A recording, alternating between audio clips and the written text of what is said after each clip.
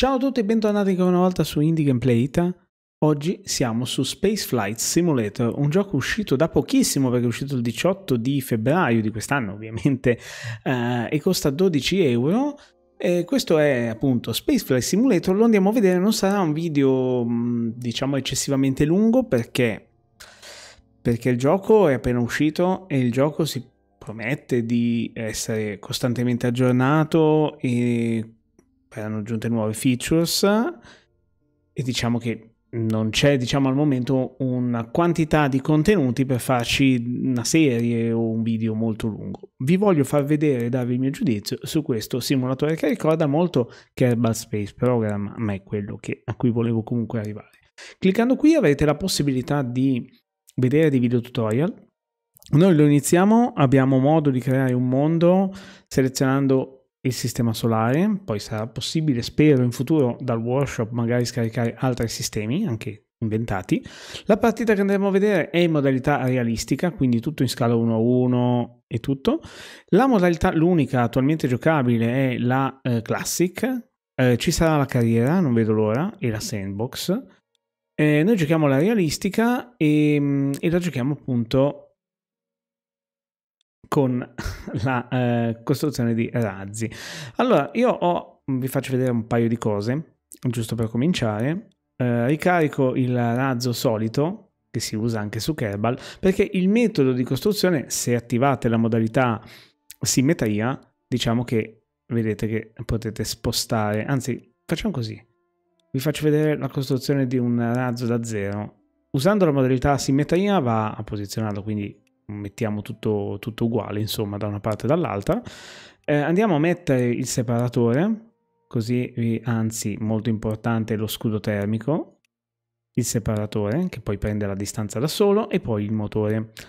Eh, qua abbiamo la possibilità di scegliere la grandezza da 8, base 8, 6, 8, 10, 12 i motori, abbiamo le aerodinamiche, eh, le fairings che no, sono mm, quei cosi diciamo di, di, di copertura insomma eh, che proteggono la struttura insomma e poi si aprono una volta nello spazio le varie strutture e tutto il resto. Quindi qua abbiamo anche la possibilità di costruire delle ruote per dei rover delle mm, eh, gambe e dei mm, mannaggia questi dock import eccoli qua dock import.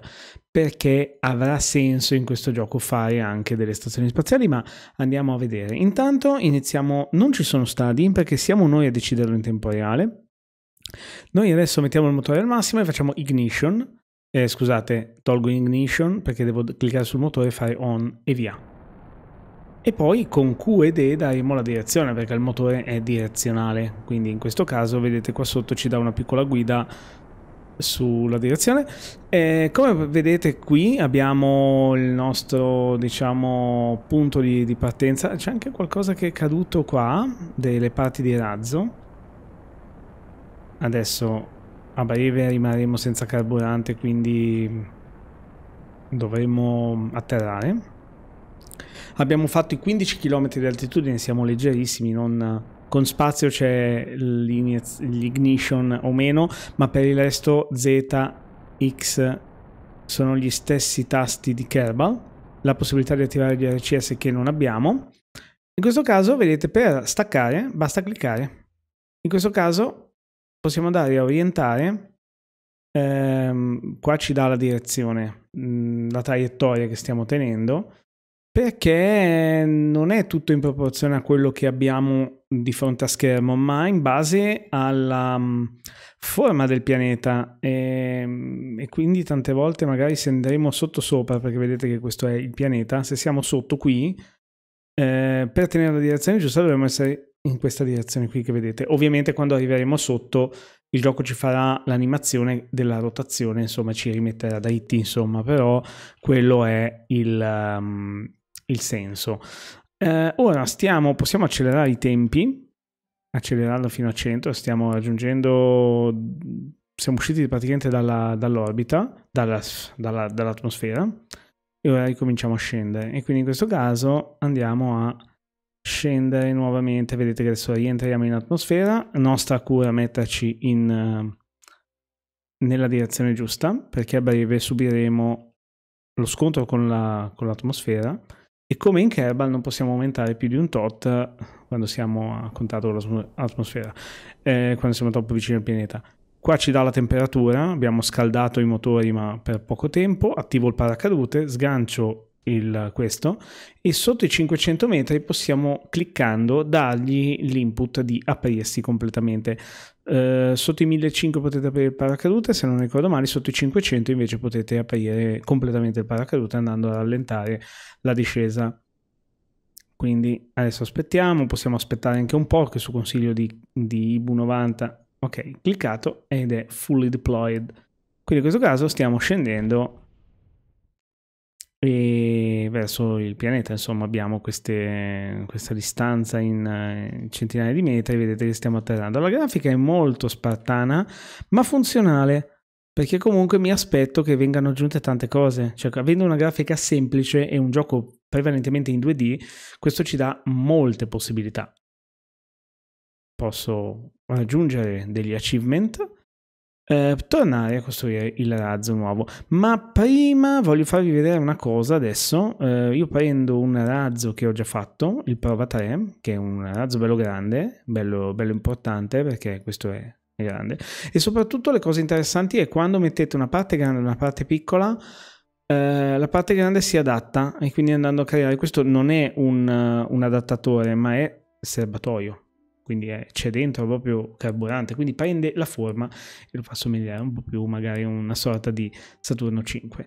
Ma la cosa che io voglio farvi vedere è questa, guardate il pianeta, non c'è niente eh, al momento, però guardate il pianeta, io vado indietro, questa è l'atmosfera, questo è nostra, il nostro pianeta, ma non è finita qui, abbiamo la Luna, piccolissima, e andando indietro ancora, adesso non, non, lo vedrete perché lo si vedrà quando usciremo in, in, ehm, in, partenza, quindi la prima cosa che facciamo adesso è andare a eh, lasciare il pianeta, quindi andare a dire al sistema di avviare questo motore, questo motore e questo motore, ignition e via. Gli diamo potenza e vedete che...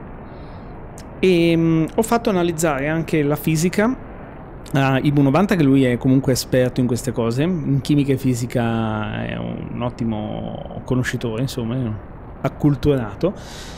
E la cosa che mi ha detto è che praticamente eh, se noi adesso girassimo il razzo completamente in orizzontale non si distruggerebbe, non, cioè verrebbe distrutto dalla forza che ci spinge verso l'alto. In gioco non succede, quindi il gioco viene visto come un punto unico il razzo e non come magari succede su Kerbal con uh, tutte le varie parti.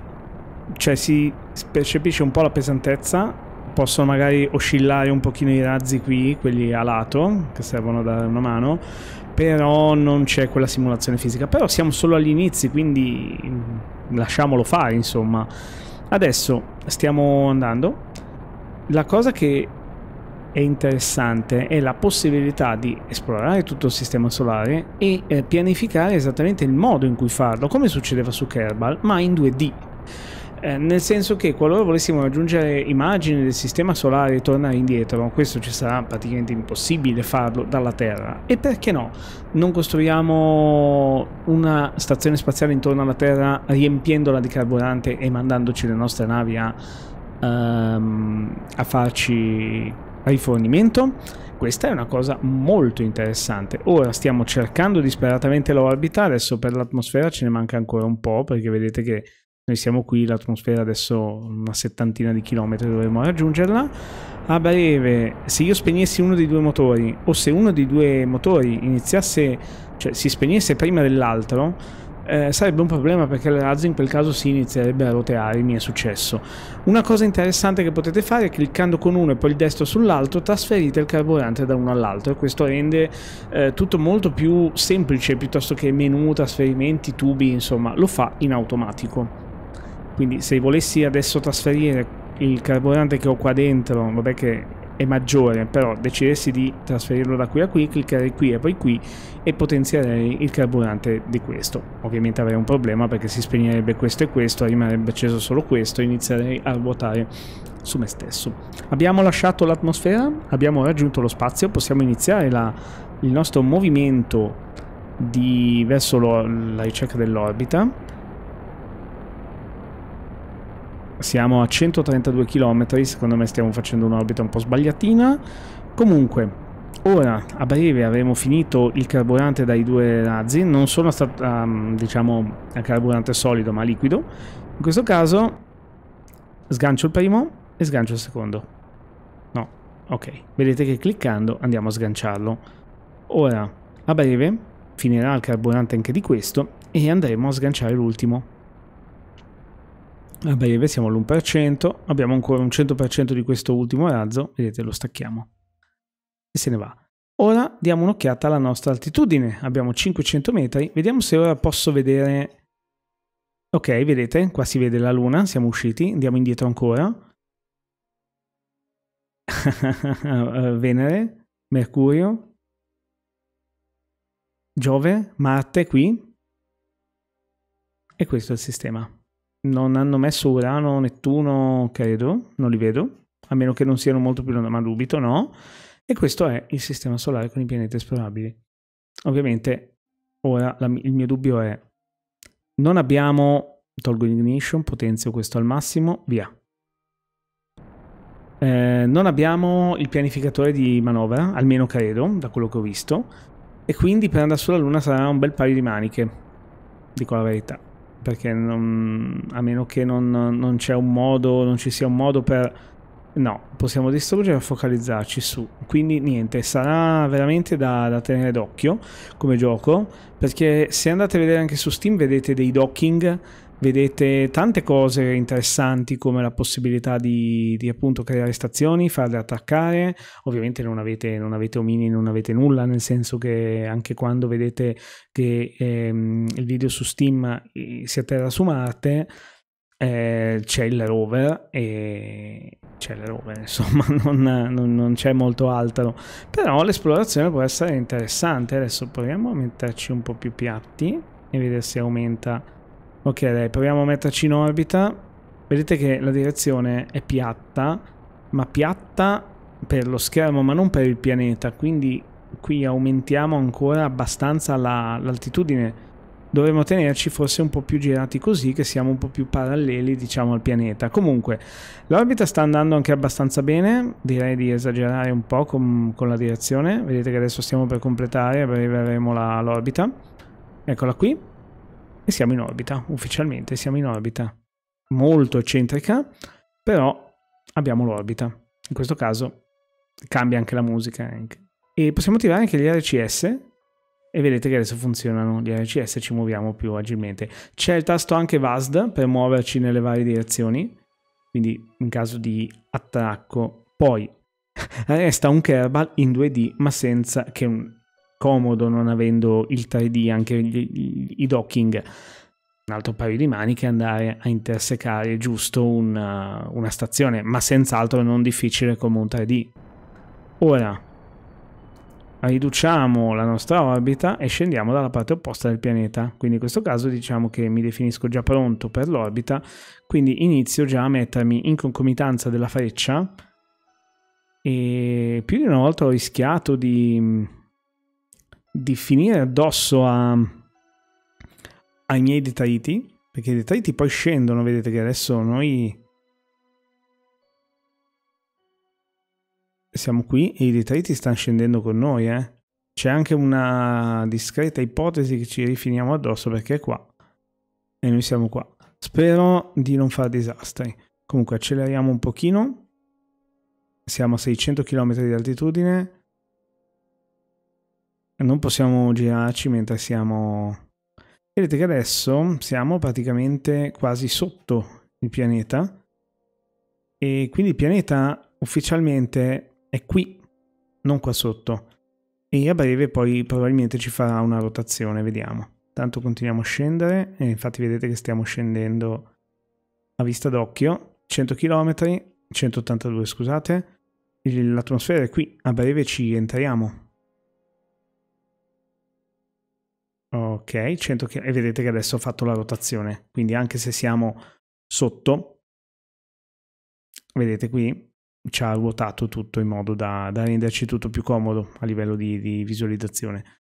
Ora scendiamo 80 km, orientiamo correttamente il, um, la nostra capsula 50 km, a 30 magari iniziamo già a prendere una botta, forse anche qualcosina meno. Sì, infatti. Siamo entrati nell'atmosfera. Lo scudo si sta scaldando, ma non in maniera preoccupante. Avevo messo le gambe per atterrare, sono esplose, perché bisognerebbe coprirle, diciamo, con, una, con uno scudo termico. Eh, Ok, abbiamo, siamo sopravvissuti, siamo a un'altitudine di 12 km, il paracadute non si apre, sotto, ho prima detto erroneamente 1500 ma in realtà sono 2005, quindi a 2500 metri apriamo il paracadute, intanto velocizzo giusto per farvi vedere ehm, il tutto, ok, oh, ok, rimane aperto a metà ma intanto rallentiamo parecchio. E sotto i 500 gli diamo un altro boost. E quindi lo apriamo completamente. E poi andiamo giù. Tanto la velocità è già accettabilissima, quindi anche se lo facciamo a 300, 200, no, magari 200 non la rischio adesso, dai. Ok, aperto del tutto, intanto vedete che ci avviciniamo a, alla parte opposta. Non ci sono achievement perché appunto non c'è la carriera, non vedo l'ora della carriera perché sarà veramente interessante. Eh, mixa quello che è un po' scienza, fisica e semplicità il gioco. Non ho sganciato, vabbè, il, lo scudo termico, ma pazienza. E la missione è finita, cioè non c'è altro da fare, recuperiamo, insomma, abbiamo uh, raggiunto i 1201 gradi, abbiamo raggiunto l'orbita bassa e siamo tornati sulla Terra. Destroy, exit to main menu. Questa è la nostra partita, questo è Spaceflight Simulator. È interessante, senza dubbio. Non ha molti contenuti, ma nulla vi vieta eh, di costruire un razzo, pianificare tutto per arrivare, che so, su Marte e, ed esplorarlo con un rover. Ci sono i pannelli solari, quindi insomma potete girare con un rover. Ovvio, sarebbe più bello con delle missioni, con una carriera, con un budget da gestire, missioni da fare. Ma diamo tempo al tempo perché all'inizio, dal mio personalissimo punto di vista, il gioco è assolutamente promettente. 11,99 euro eh, uscirà, penso ufficialmente forse dicono nel giro di un anno, se non ricordo male, con un aumento del prezzo del 20-30%, quindi non tantissimo rispetto al prezzo di adesso, però diciamo che se vi interessa approfittatene ora. Con questo io vi saluto, vi ringrazio e vi rimando al prossimo video gameplay. Alla prossima ragazzi e ciao ciao!